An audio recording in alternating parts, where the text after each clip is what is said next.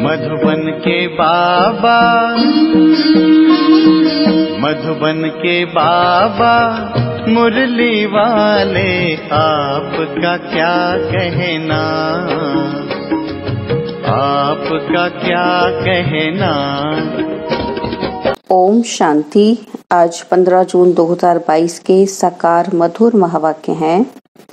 आज मीठे मीठे बाप दादा बोले, मीठे बच्चे, यह तुम सबकी वानप्रस्थ अवस्था है।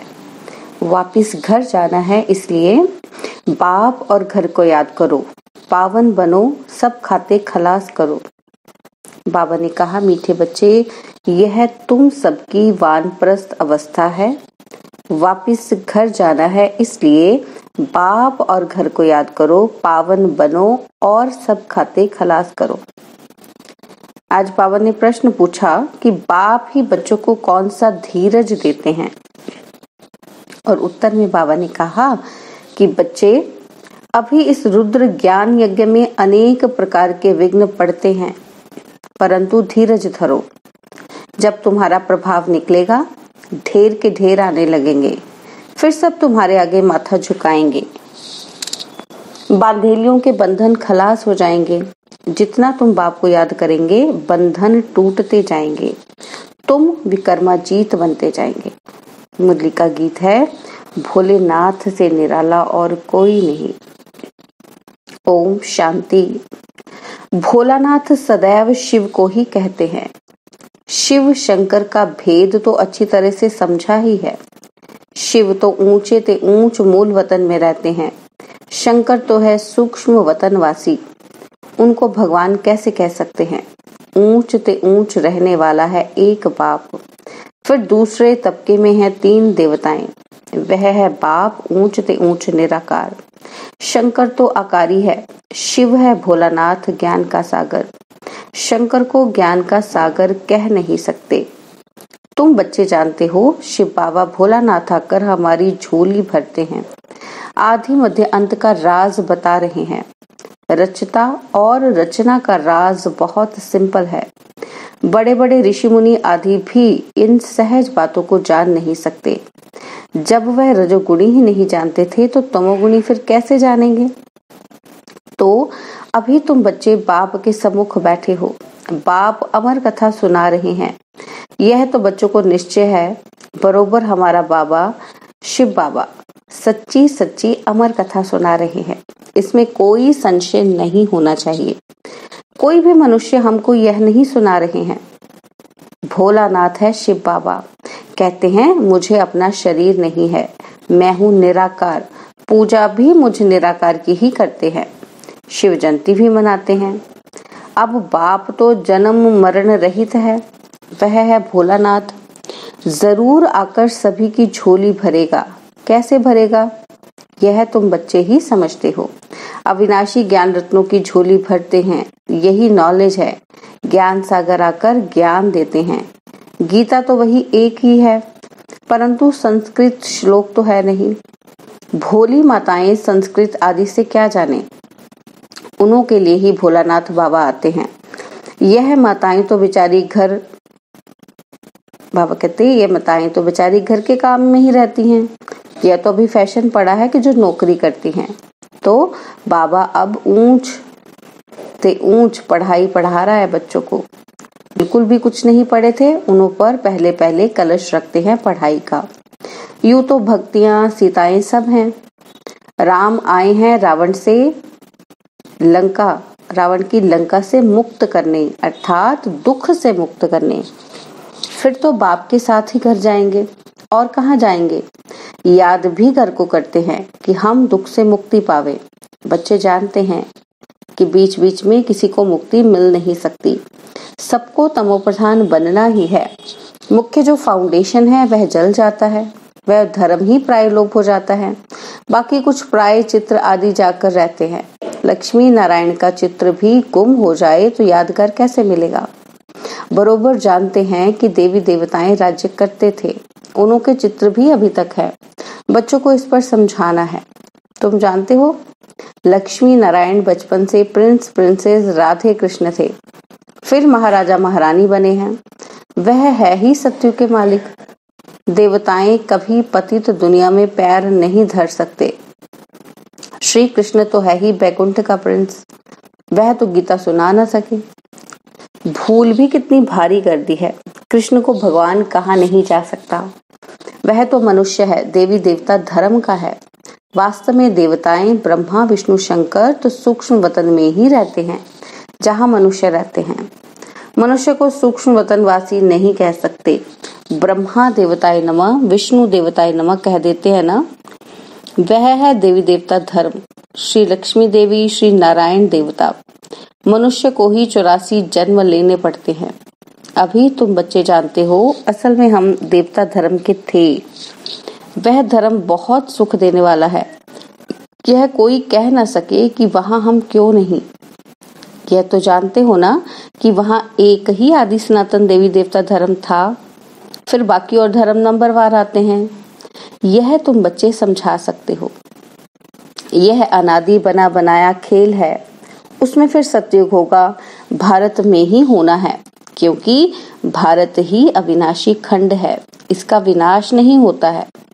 यह भी समझाना पड़ता है, बाप का जन्म भी यहाँ होता है। उनका है दिव्य जन्म, जो मनुष्यों सदृश नहीं है। बाप आए हैं निकालने। अभी तुम सिर्फ़ बाप और घर को याद करो। फिर तुम राजधानी में आ जाएँगे। यह तो आसुरी राजस्थान है। बाप ले जाते हैं दैवी राजस्थान में। और कोई तकलीफ़ नहीं देते। सिर्फ़ बाप और वर्षे को याद करना है। यह है अजपा जाप। मुख से कुछ भी कहना नहीं है। सूक्ष्म में भी कुछ कहना नहीं है। साइलेंस में बाप को याद करना है, घर बैठे। बांधेलियाँ भी घर बैठ सुनती हैं। छुट्टी नहीं मिलती है। हाँ घर बैठे सिर्फ़ पवित्र रहने की कोशिश करो। बोलो, हमको स्वप्न में डायरेक्शन मिलते हैं, पवित्र बनो। अभी मौत सामने खड़ा है। तुम अभी वानप्रस्थ अवस्था में हो। वानप्रस्थ में कभी विकार का ख्याल थोड़े होता है। अभी बाप सारी दुनिया के लिए कहते हैं कि सभी की वानप्रस्थ अवस्था है। सभी को वापस जाना है तो घर को याद करना है। फिर आना भी भारत में है। मुख तो घर की तरफ़ ही होगा ना। बच्चों को और कोई तकलीफ़ नहीं दी जाती है। बड़ा सहज है। घर में बैठ बल भोजन बनाओ। शिव बाबा की याद में घर में भोजन बनाते हो तो पति याद रहता है ना। बाप कहते हैं, यह तो पतियों का पति है। उनको याद करो जिससे 21 जन्मों के लिए वर्षा मिलता है। अच्छा कोई को छुट्टी नहीं मिलती है। वहाँ भी रह बाप और वर्षे को याद करो। अपना तो तुम छुटकारा कर लो। बाप से पूरा वर्षा ले सकते हो। धीरे धीरे तो छुटकारा मिलना ही है। हाँ रुद्र ज्ञान यज्ञ में विघ्न भी ज़रूर पड़ने हैं। आखिरीन जब तुम्हारा प्रभाव निकलेगा तो तुम्हारे चरणों में माथा टेकते रहेंगे। विघ्न तो पड़ते ही रहेंगे। इसमें धैर्य धरना है, उतावला नहीं होना है। घर बैठे पति आदि मित्र संबंधियों को एक ही बात समझाओ कि बाप का फरमान है, मुझे याद करो, वर्षा लो। कृष्ण को तो नहीं हो सकता। बाप को ही याद करना है। बाप का ही परिचय देना है जो सब जान जाएँ कि हमारा बाबा शिव बाबा है। वह भी अभी याद अच्छी रह सकती है। थोड़े समय के लिए बंधन, मारपीट आदि है। आगे चलिए सब बंद हो जाएँगे। कोई कोई बीमारी होती है तो झट छूट जाती है। कोई वर्ष, दो वर्ष तक भी चलती है। इसमें भी उपाय यही है कि बाबा को याद करते करते बंधन छूट जाएँगे। इसलिए हर बात में धीरज चाहिए। बाप कहते हैं, जितना तुम याद करेंगे, उतना विकर्म विनाश होंगे। बुद्धि टूटती जाएगी।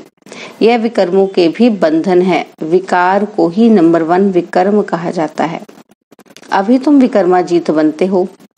विकर्माजीत याद से ही बना जाता है। सभी खाते खलास हो जाएँगे, फिर सुख का खाता शुरू होगा। व्यापारियों के लिए तो बहुत सहज है। समझते हैं कि पुराना खाता खलास कर फिर नया शुरू करना है। याद करते रहेंगे तो जमा होता जाएगा। याद नहीं करेंगे तो जमा कैसे होगा? यह भी व्यापार है ना? बाप तो कोई तकलीफ़ नहीं देते हैं। धक्का आदि कुछ भी खाने का नहीं है। वो तो जन्म जन्मांतर खाते ही आए हैं। अभी सत्य बाप कितना अच्छी रीति समझाते हैं। गॉड ही सत्य बतलाते हैं। बाकी तो सब है झूठ। कंट्रास्ट देखो। बाबा क्या समझाते हैं और मनुष्य क्या समझाते हैं? यह है ड्रामा। फिर भी ऐसे ही होगा। अभी तुम जानते हो कि हम सदगति को पाते हैं श्रीमत पर चलने से। नहीं तो इतना ऊंच पद नहीं मिलेगा। तुम निमित्त बनते हो स्वर्ग में जाने। वहाँ कोई विकर्म होता नहीं। यहाँ विकर्म होता है तो सजा भी भोगनी पड़ती है। जो श्रीमत पर नहीं चलते, उनको भी क्या कहा जाए? नास्तिक। भल जानते हैं, बाबा आस्तिक बनाते हैं, परंतु फिर भी अगर उनकी मत पर ना चले तो नास्तिक ठहरे ना। जानते भी हैं कि शिव बाबा की श्रीमत पर ही चलना है। परंतु जानते हुए भी ना चले तो उनको क्या कहेंगे? श्रीमत है श्रेष्ठ बनने की। सबसे ऊंच ते ऊंच वह सत्य गुरु है। बाप बैठ बच्चों को सम्मुख समझाते हैं। कल्प कल्प समझाया था। बाकी शास्त्र तो सब भक्ति मार्ग के हैं। अनेक ढेर के ढेर शास्त्र हैं। शास्त्रों की भी बहुत इज़्ज़त रखते हैं। जैसे शास्त्रों को परिक्रमा देते हैं, वैसे चित्रों को भी परिक्रमा दिलाते हैं। अब बाबा कहते हैं, इन सभी को भूल जाओ। एकदम बिंदु बन जाओ। बिंदी लगा दो और कोई बातें सुनो ही नहीं। Hear no evil see no evil talk no evil एक बाप के सिवाय दूसरे कोई की बात मत सुनो। अशरीरी बन जाओ और सब कुछ भूल जाओ। तुम आत्माएँ शरीर के साथ सुनती हो। बाप आकर ब्रह्मा द्वारा समझाते हैं। बच्चों को सदगति का मार्ग बतलाते हैं। बल पहले भी परंतु मुक्ति जीवन मुक्ति कोई चक्र नहीं सक, कल्प की आयु ही लंबी कर दी है। जिनकी तकदीर में होगा तो सुनेगा। तकदीर में नहीं है तो आ न सके। यहाँ भी तकदीर की बात है। बाप समझाते कि कितना सहज है। कोई कहते हैं, हमारा मुख नहीं खुलता। अरे, इतनी सहज बात है। बाप और वर्षे को याद करो। उनको ही संस्कृत में कहते हैं, मन मना भव। शिव बाबा है सभी आत्माओं का बाप। कृष्ण को बाप नहीं कह सकते। ब्रह्मा भी बाप है सारी प्रजा का। आत्माओं का बाप बड़ा या प्रजा का बाप बड़ा? बड़े बाबा को याद करने से प्रालब्ध स्वर्ग का वर्षा मिलेगा। आगे तुम्हारे पास बहुत आएँगे, जाएँगे कहाँ? आते रहेंगे। यहाँ बहुत लोग जाते हैं तो एक दो को देख बहुत खुश पड़ते हैं। तुम्हारे में भी वृद्धि को पाते रहेंगे। विघ्न कितने भी आए उन खिटपिट से पास होकर अपनी राजधानी तो स्थापन करनी ही है। राम राज्य स्थापन कर रहे हैं। राम राज्य है नई दुनिया। तुम जानते हो, हम अपने ही तन मन धन से भारत को स्वर्ग बना रहे हैं। श्रीमत पर। कोई से पहले तुम ये पूछो कि परमपिता परमात्मा से तुम्हारा क्या संबंध है? प्रजापिता ब्रह्मा से क्या संबंध है? यह है बेहद का पाप, और फिर है बिरादरिया। एक से ही निकली हुई है ना?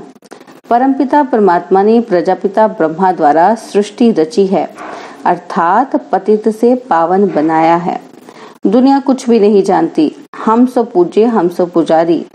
गाते हैं परंतु वह फिर भगवान के लिए कह देते हैं। अगर भगवान ही पुजारी बने तो फिर कौन पूज्य बनावे? ये पूछना चाहिए। बच्चों को हमसो का अर्थ समझाया है। हम सो शूद्र थे, अब हम सो देवता बन रहे हैं। चक्र को तो याद कर सकते हो ना? गाया भी जाता है फादर शोज़ सन फिर सन शोज़ फादर अच्छा। मीठे मीठे सिकिलदे बच्चों प्रति माता पिता बाप दादा का याद प्यार और गुड मॉर्निंग रूहानी बाप की रूहानी बच्चों को नमस्ते।